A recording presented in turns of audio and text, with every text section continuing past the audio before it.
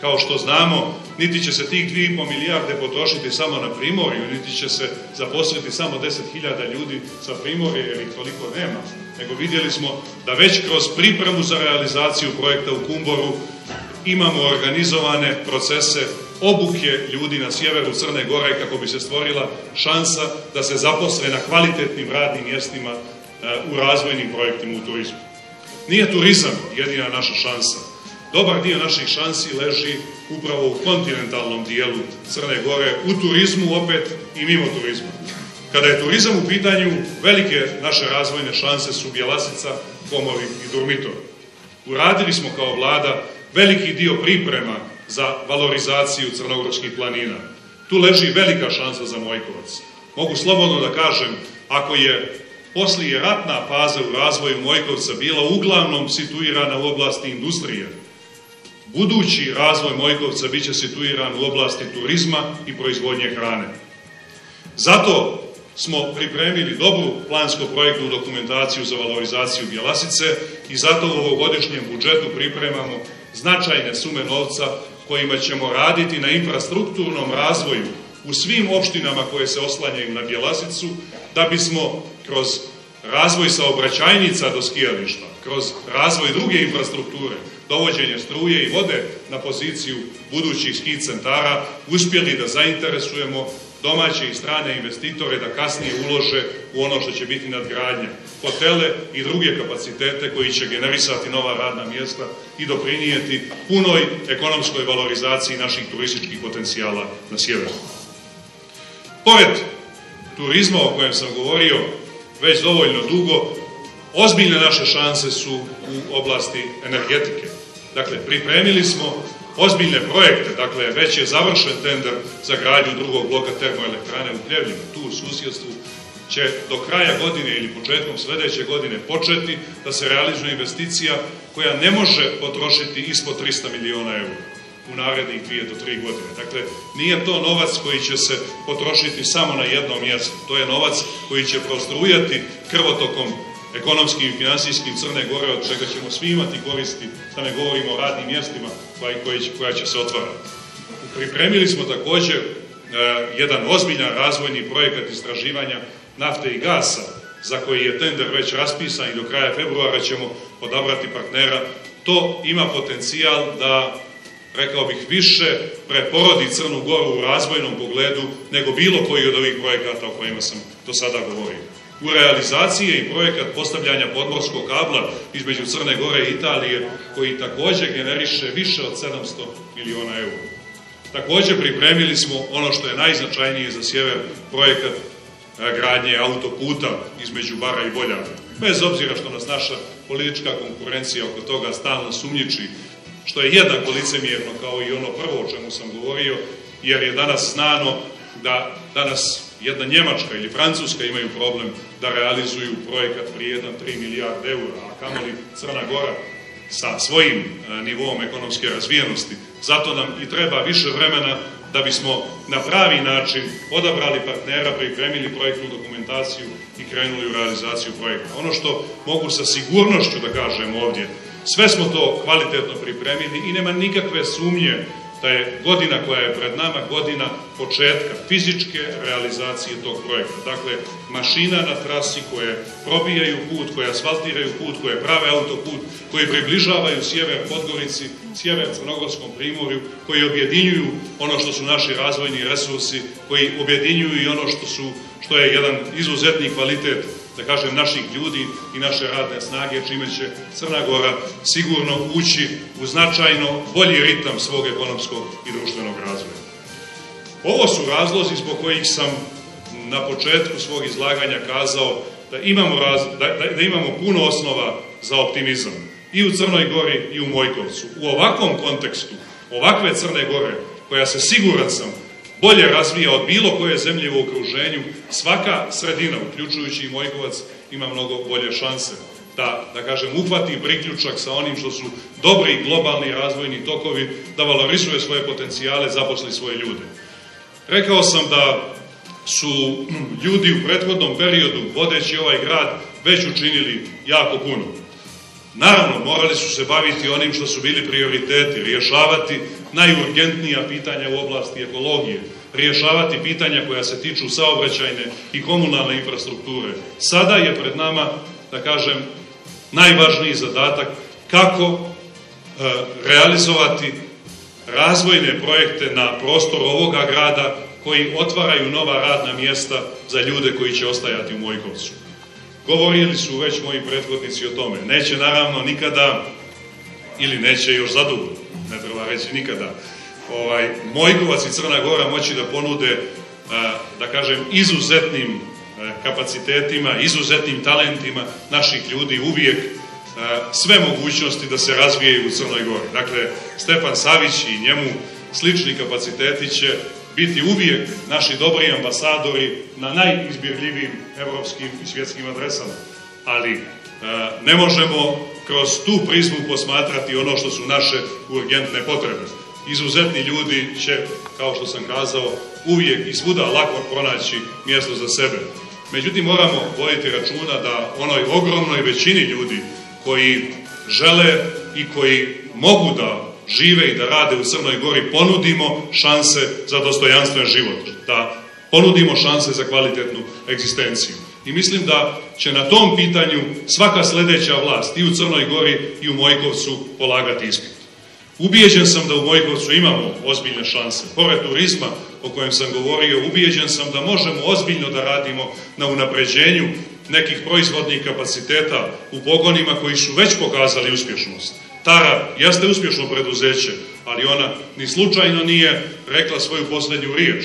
Danas postoji ozbiljno interesovanje iz nekih drugih dijelova svijeta za proizvode tare, što otvara šansu da ovdje širimo pogone i dodatno zapošljavamo ljude. Mojkovac ima svoje ozbiljne potencijale u oblasti drvoprerade. Mojkovac također ima svoje ozbiljne potencijale u onome što će biti rezultati istraživanja na lokalitetu nekadašnjeg rudnika Brskovo. Također, ozbiljne šanse i Mojkovac i Sjever Crne Gore imaju u proizvodnji hrane. Više od 400 miliona eura Crna Gora na godišnjem nivou uvozi hrane. Od toga više od polovine uvozi iz našeg regiona. Dakle, e,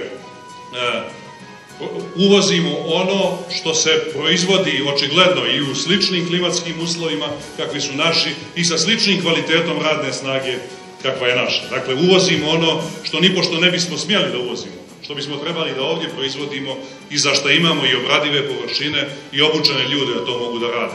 Ozbiljan dio tih potencijala je u Mojkovcu jako na tome radimo na čelu sa našim ministrom poljoprivrede, stvarajući šansu da i tu oblast privređivanja na pravi način valorizujemo i da stvorimo uslove da se Crna Gora ubrzano razvije.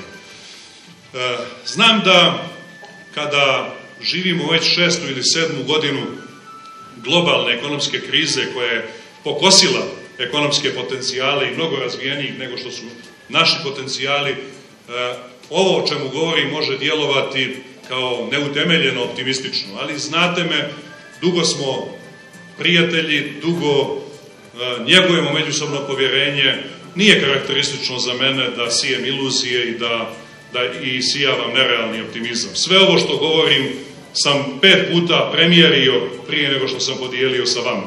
Ubijeđen sam dakle da se Crna Gora dobro razvija. Ako je Crna Gora 2003. godine imala 2400 dolara po glavi stanovnika, a danas ima 7200 dolara po glavi stanovnika, E pa znate, nije to baš uobičajeno da se za deset godina utrostruči društveni proizvod po glavi stanovnika. Ako je Crna Gora bila najmanje razvijeni dio Jugoslavije, ako je živjela na dotacijama iz fonda za nerazvijena područja, ako je imala najniže plate uh, u ondašnjoj Jugoslaviji, a danas ima najviše plate dakle na Zapadnom Balkanu, ako izuzmemo bez dvije države iz ex Jugoslavije koje su postale članice Evropske unije, ako ima i najviše penzije od drugih, bez obzira što jako dobro znamo da to nije dovoljan nivo i da se od toga teško živi, ali moramo iz toga izvući zaključak da je ova zemlja na dobrom putu i da nam treba samo još malo vremena i treba nam pametnog upravljanja da bismo dobro iskoristili ono što su razvojni potencijali. Mi smo ubijeđeni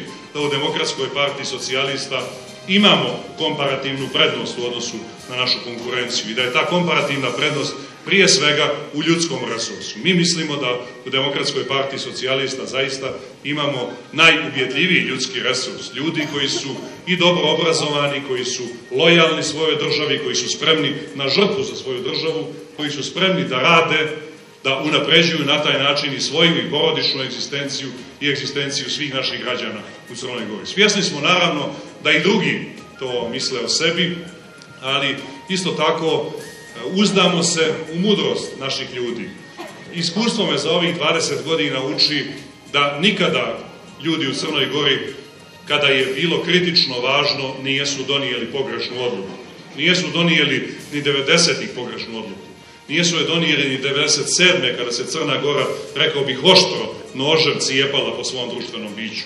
Nijesu donijeli pogrešnu odluku ni 99. godine, kada smo kazali, nije ovo naš rat, Ovo je privatni rat koji samo može donijeti dugoročnu štetu Crnoj Gori.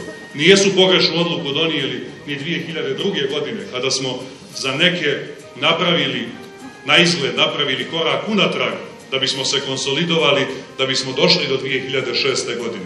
A posebno nijesmo napravili pogrešan izbor 2006. godine i u godinama iza toga, kada smo se intenzivno približavali Europskoj uniji i NATO. Zato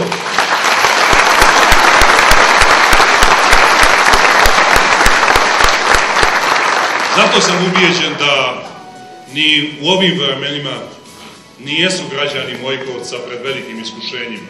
Pročitao sam šta lider nama konkurencijske partije poručuje ovdje pokušavajući da, da kažem, da rasplamsa emocije Mojkovčana, ali osnovno pitanje je da li se može vjerovati takvim obećanjima. Možete li vjerovati nekome da poštuje ono što je žrtva Mojkovačke bitke, onome istome koji je 99. godine stao uz Miloševića, a protiv Crne Gore, koji je bio ambasador velikosrpskog nacionalizma u Rimu, a ne ambasador Jugoslavije.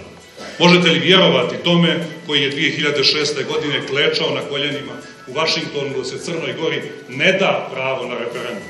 Možemo li vjerovati da on ima poštovanje prema Mojkovačkoj žrtvi ili žrtvi Mojkovačke bitke? Ne.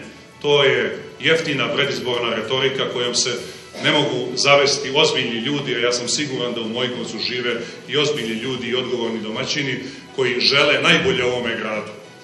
Zato je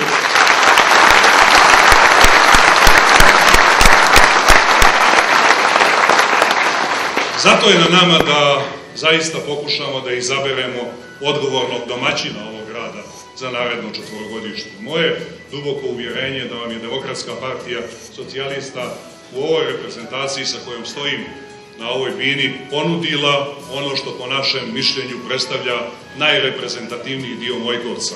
Neko sa kojim se vi identifikujete, kome vjerujete da će biti u stanju da realizuje ono što su htjenja ovoga grada, htjenja vas, htjenja većine ljudi u Mojkovcu. Ja vjerujem da ćete vi to prepoznati i vjerujem da nećete imati velike dileme na izborima 16. i da ćete zaokružiti broj 5 želim da veoma direktno odgovorim na ono što je kazao Duško Marković. Slažem se sa njim. Koliko god vlada i država mislili da su uradili prema svakoj sredini, uključujući i Mojkovačku, nikada, makar to je karakteristika moga načina rada, nikada nijesam bio zadovoljan i nikada ne možemo biti zadovoljni time što smo uradili. Dužni smo Mojkovcu i želim da vam kažem da sam spreman da sa čela vlade koju ću predvoditi u narednom periodu, pomognem ljude koji će voditi Mojkovac u narednom četvorogodištu i da u tom sadejstvu ostvarimo sve ono što su realne htjenje gledanja Mojkovca, a da prinesemo jednom intenzivnom razvoju ovoga grada i da sa valorizacijom Mojkovačkih potencijala doprinesemo, da kažem, punom prosperitetu sjevera Crne Gore i Crne Gore u cijelini. Živjeli! Hallelujah.